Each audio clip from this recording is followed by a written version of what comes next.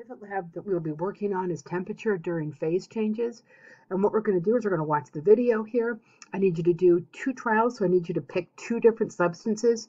Please do not do substance or trial one because that's what I'm going to do in the video. Make sure you go, you select whatever trial you're looking at and you hit go. Otherwise, it will just stay whichever trial on. So I'm going to go back here to trial one.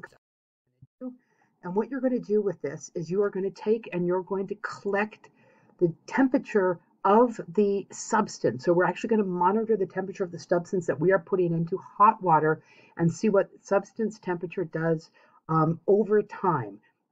To do this, you're going to have to make sure you put bring in your tools and you bring in your stopwatch and you're going to look at what's on your stopwatch here. You're going to set it so that it's a reasonable amount of time for you, and I'll show you how to do that. And then you're going to graph it. All right, so I'm going to graph the temperature and time so time is going to be on the X for me, temperature is going to be on the Y. It doesn't matter how far apart you take your points. You're going to do this twice and you're going to take a look at the graph. So getting going on this one. If I'm going to hit start, they're going to take and they're going to put the substance here into the hot water. The temperature probe is actually sitting inside there, monitoring it.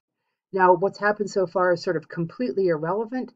So at this point, I'm going to reset my clock so that I'm starting at zero. I'm, and I'm going to use time as my x-axis, and I'm just going to hit start. And what you're going to want to do as you go through here is you're going to pick certain times. And so you're going to come down to your axis or your graph, um, excuse me, your table here, and you're going to figure out what you want to plot.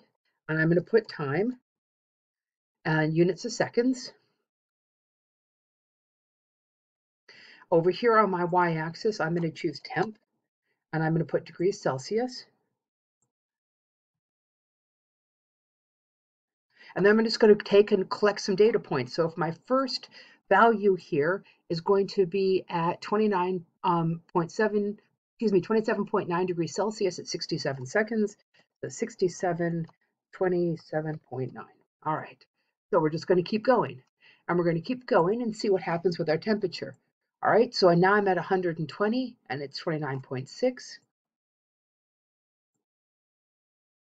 And you're going to keep collecting data to see what is going on. So if I'm going to keep doing this, I'm going to notice my temperature is going to level out.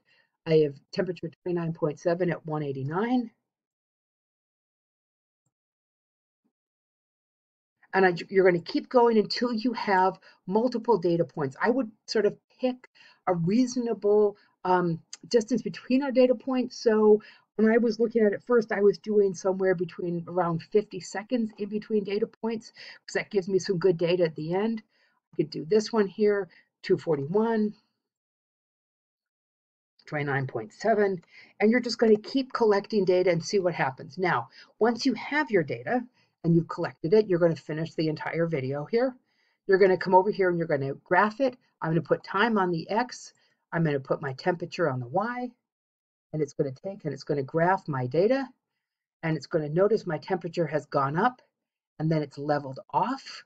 If I keep going, and I'm going to take and I'm going to skip a bunch of data points here, I'm going to notice that over time here, my temperature doesn't seem to change very much until I get to around 500 seconds, and then my temperature starts to go up again. And so you're going to continue to plot your data you're going to see what happens to your temperature. You're going to do that for two different substances. And when you're done with two different substances, you're going to have to make two different graphs for each of the two substances. We're going to ask, what do you notice about it? Why? What's happening to the substance? Why does the temperature level off? And then you're going to take a look at these possible unknowns.